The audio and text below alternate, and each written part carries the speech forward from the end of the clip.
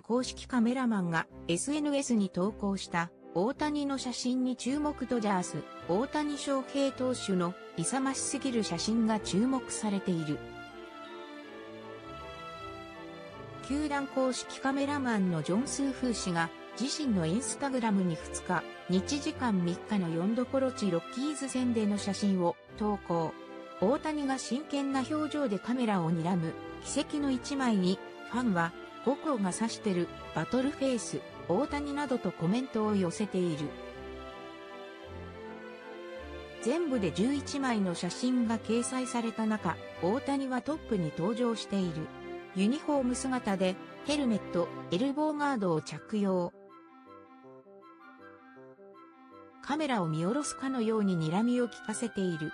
その他にも、キャッチボールをする大谷をバックに、満面の笑みを浮かべてピースする、ウィル・アヤトン通訳。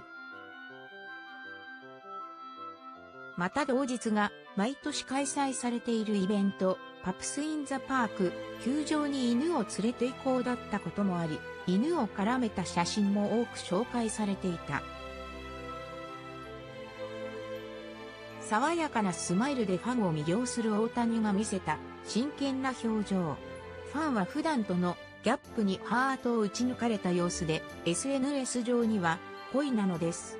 ヤバ賞。そんな目をして私を見ないで出陣前の侍の顔。睨みが素敵。奥様そっくり。勇ましい。これはかっこいい。引き込まれる。眼力といった声が上がっていた。大谷はこの日の試合は3打数無安打も打撃妨害と敬遠死球で2度出塁した。4日、同5日からは敵地でのパイレーツ、ヤンキースとの3連戦に臨む。フルカウント編集部